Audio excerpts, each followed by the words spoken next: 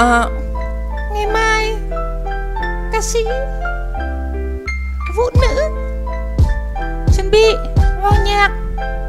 Let's go.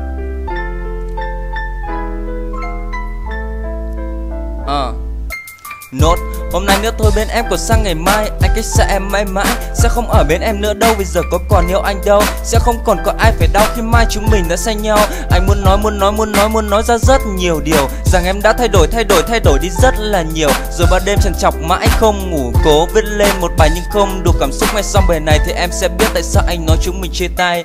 Em từng nói yêu anh mãi thôi nhưng khi đã từng dối Anh bao nhiêu ngày mai xin em cũng đừng nói, Anh không muốn như vậy, anh xin em đừng dối anh nữa nhé. Vì em đã xé nát tình cảm con tim anh bé nhút nhát. Mỗi khi anh hát lên giai điệu và lời nhạc cũng là đang có một cảm giác Lạ và không muốn cũng như đang có một nỗi buồn chán.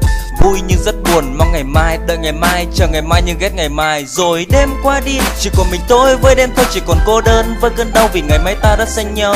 Vậy thì thôi đêm cứ trôi đi, Để mặc ngày mai tôi sẽ ra đi. Mong hờ tận phai tôi sẽ quên đi, Còn lại mình em ôm bao nghĩ suy. Dù cho tôi vẫn rất yêu em, Nhưng đành vùi lấp đi trong sương đêm Mày lùng cho quên đi một cái tên trong qua bao nhiêu giấc mơ em cho bao nhiêu cơn đau tim về nhưng tôi vẫn cố sao tất cả đi trong một giấc mơ đêm anh đã cố để mà anh sẽ nói ra câu đó. Khi mà em hỏi đến lý do Thì anh lại nói có người khác. Đơn giản là như vậy thôi, em cũng thừa biết là anh đang nói khoác. Chia tay luôn đi, em anh nói câu đó cũng như là thay cho em. Khi mà thay đổi, nó hiện ở em mà dường như ai cũng nhận ra. Cũng phải vậy thôi, khi mà tình cảm nó theo thời gian chưa đi mặn mà.